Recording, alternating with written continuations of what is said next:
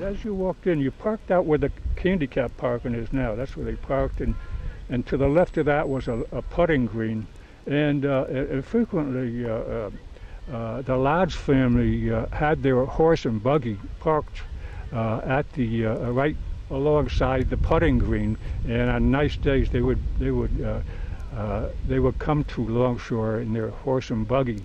Uh, and while all the other members, of course, had cars, so they had a lot of flair. That was the governor of.